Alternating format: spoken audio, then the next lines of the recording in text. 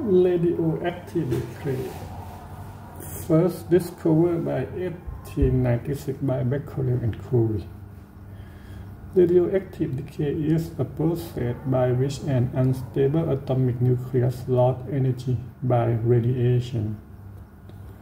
So, n equal to number of radioactive nuclei and lambda is equal to decay constant.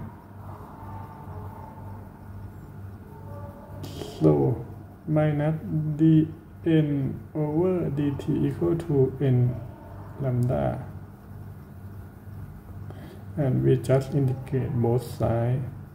So ln n over n0 equal minus lambda t for t0 equal to 0 and finally n equal to n0 e uh, power minus lambda t. This is uh, radioactive decay. N0 is a number of radioactive nuclei at time t equal to 0 and N N is the number of radioactive nuclei remaining at any subsequent time t. And R equal to rate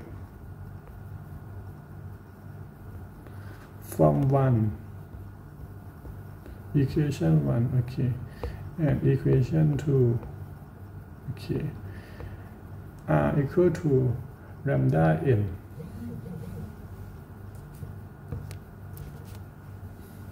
So we also have a unit about radioactive decay.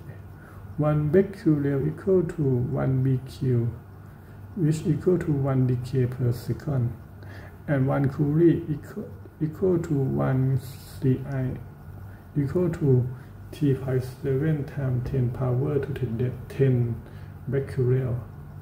Okay.